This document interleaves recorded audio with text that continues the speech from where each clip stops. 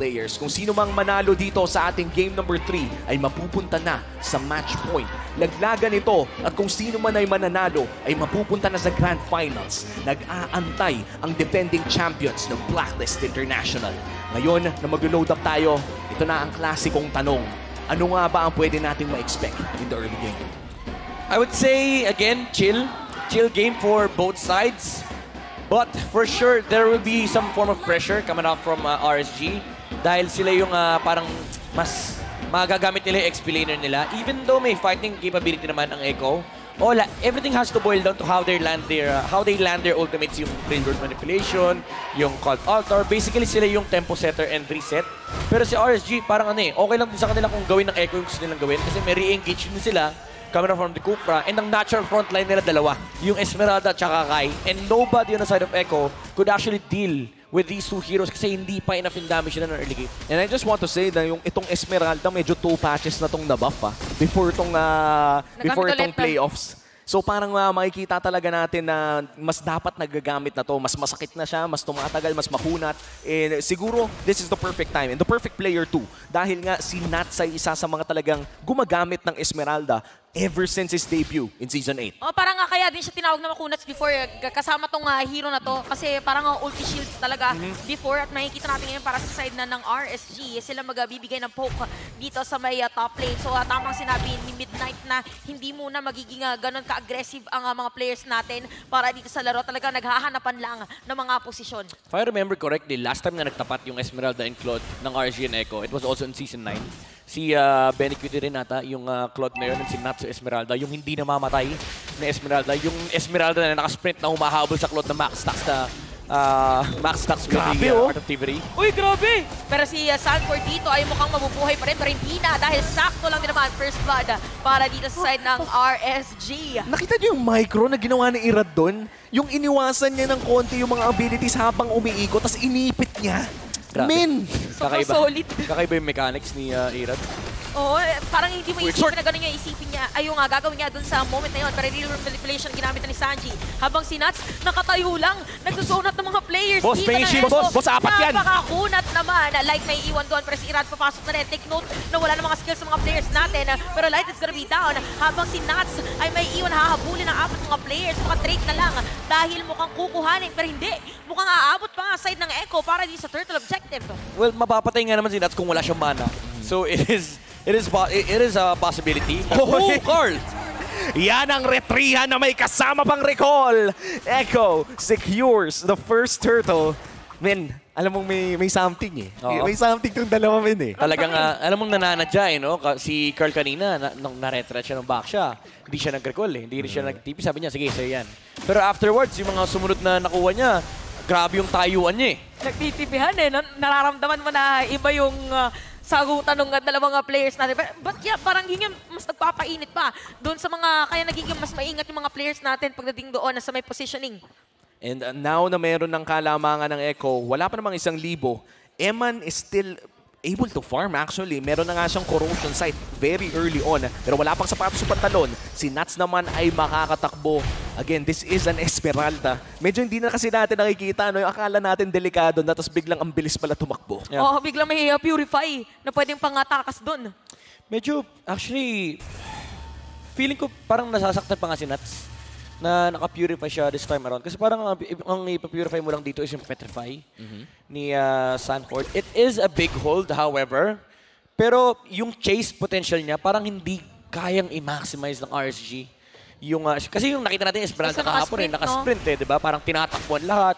And may, ano eh, may hidden pressure for Echo na parang pag nag-go ka na sa Esmeralda, sisisprintan lang kayo. Now with this Purify, ang nasa isip ng Echo, isang crowd control lang, tapos pakita mo lang yung threat na pwede siyang patayin. Speaking Like of that. crowd control, ah, sakto sa may bottom lane, eh, Irada ay ah, makakakuha ng, uh, ay, side ng RSG, makakakuha ng death against uh, Echo, and that's gonna be Nats na casualty. Maganda na sana yung pasok ni Irad doon, pero mas maganda ang ginawa ni Sanji with the real-world manipulation.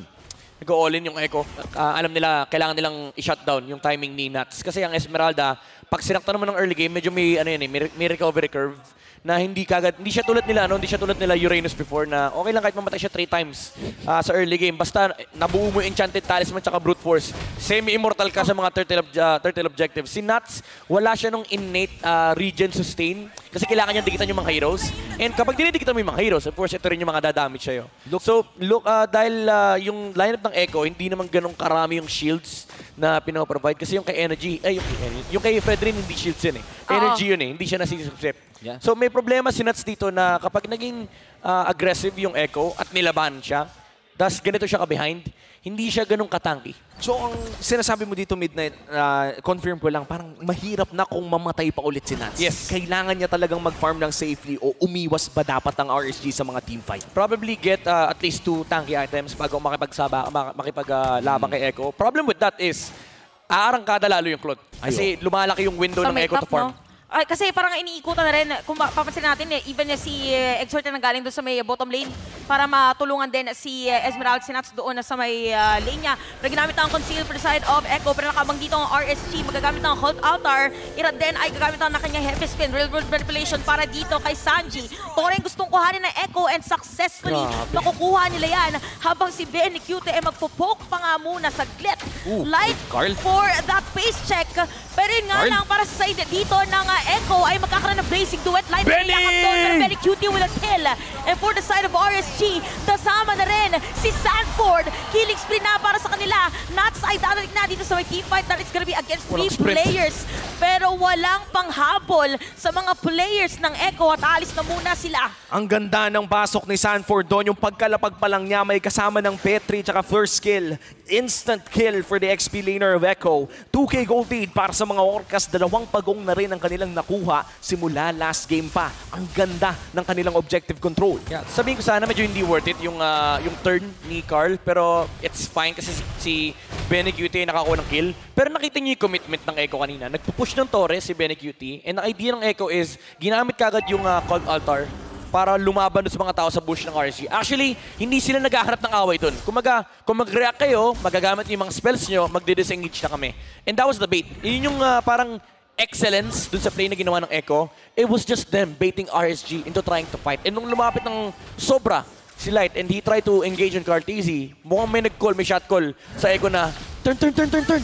Pwede na, pwede na. Pwede na. Ay, nagamit na ng mga ibang skills. Uh, ang tignan natin ngayon na Echo will secure the turtle against RSG. Yan ang ikatlong turtle para sa ating laro. Three turtles secured at kanina pa yon Actually, kung titignan natin games 1 and 2, ang turtle control rate ng Echo ay napakaganda sa serye na to. At mukhang sila pa nga makakuha ng malaking kalamangan dito in the early game. 7 minutes in, a 2k gold lead. Pero maganda dito para sa RHG Slate Philippines ay hindi pa nila nag-give up yung mid lane outer tier nila. Yeah, very important na ma- ma-hold nila to. Although isang isang Isang na lang yan. isang kalapit na lang yan mula kay uh, Benny Cutie. But again, at least nahawakan pa rin nila yung ah, yung control diyan kasi once na ma- mawala yan, ang laki ng access ng Echo towards the jungle area of Oh, RSG. Papasok Lighto! si Light. Tingnan natin ginamit ang Cold Altar para decide ng Echo. Beringgala, papasok din naman si Light. Free para kay Eman. Tapos yung side ng Echo, merong Dragon na kasama. Wow. Exor is gonna be down. Eman ay mamamatay Wow. na rin. And the rest of RSG ay pipilitan na umalis. Yung isang kalabit na sira na na Echo at mukhang makukuha na rin. Isang tore middle lane. Nagpaulan ng bala at may kasama pang dragon. Papasukin na rin nila ang inhibitor turret dito. Limang segundo para kay Exort pero pumutok na nga yung blessing. Medyo kumunat na. Nabuff na yan ata. Si Nuts na rin ay makakadepensa. Makukuha Round two. nila ang inhibitor turret. Meron pa isang susubukan nga ba nila, ayaw na nila. Alis na muna. Respeto muna para sa Raiders. Alam din nila na meron ng items yung mga players ng ah, Raiders dito. And for RSG, may kita na rin yung damage nila doon na sa teamfight. Paunahan na lang talaga ng uh, Contran in terms of initiation. There's such a huge gap between the XP laner and the gold lane. Lamang ng isang libo. Si, uh, actually, lagpas is- libo si Benny Cutie. And ang magiging next item niya is yung corrosion sight. Meaning, limiting yung uh, kanyang, uh, nililimit niya yung mobility ng RG. Kasi parang yun na lang yung kailangan nila. Hindi niya naman kailangan ng defensive item kasi, uh, again, meron naman siyang called altar. And gusto ko yung ano, yung idea ng Echo na okay lang matalanan ni Light, okay lang maubos yung called altar, basta maubos yung resources on ta- trying to deplete that for uh, Echo kasi libre na yung game ni Benecutie. Uy, nagamit na yung uh, ulti dito by the way niya ni Eman. Habang yung side ng RSG, pipilitan um- umalis. Light ang maiiwan na doon. May pilitan na mag-bouncing ball. Sakto sa kamay ni Stanford. Pero si Exort, nasakto, na-counter dito ni Sanji sa kanyang cold altar. Exort na gustong habulin din ng mga players ng uh, Echo and it's gonna be down. Para sa kanila, sakto, meron pang Lord para sa mga Orca. Grabe yung paglangoy ni Sanford doon. Nakahanap pa ng dalawa at mukhang si Sanji ay mapupoke down na rin si Nats. Is this going to be a free Lord para sa mga Orcas? I think so. Yawi on this Paramis is performing incredibly. Yung mga baits ng Colt Altar, yung kanyang saves, yung mga hatak. Kung sino man yung gusto lumapit sa side ng RSG, lagi siya nakahanda with uh, the Ghost Bursters as well. And Echo, they just have full control. Not just uh, not just with the game.